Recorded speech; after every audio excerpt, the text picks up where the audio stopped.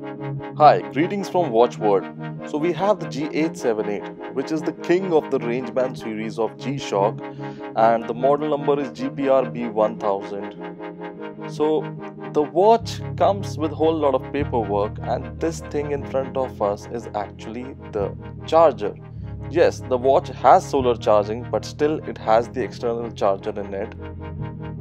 A data cable which is technically a micro USB data cable, is also supplied in the box for the external charging through any USB which you have.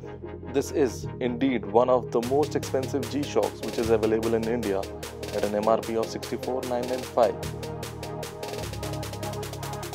And here is our 60.3 mm. Yes, that's a big dial watch that we have in front of us. And this particular dial has amazing features in it. As we lift up in the hand, we immediately recognize the weight as somewhere around 140 grams. And by pressing the mode button, we can clearly see that all the modes are sorted up. Uh, looking further, the build quality is very much superior. The LED display is great.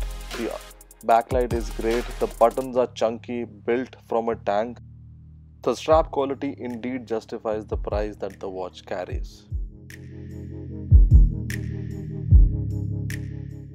You will find this card inside the box boasting about the solar assisted watch and with built-in GPS, with built-in Bluetooth and mobile link technology and giving all sorts of features like whatever power Casio had, they had put in all the efforts in this particular watch.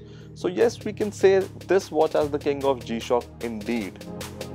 The watch obviously has the basic G-Shock features like the 200 meter water resistance is there, the glass indeed is a sapphire crystal glass, so getting a scratch on it is rare.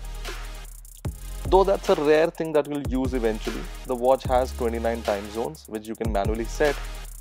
But with all the connected features and inbuilt GPS, the watch will always show you the correct time. So here is a quick list of the features that the watch has that we have already told you. And yes, the back is ceramic in finish. It's great. It's very nice. The Rangeman logo in the back is definitely an eye candy for a collector. So what are your views on the watch? Do let us know in the comments and don't forget to like and subscribe. Have a good day.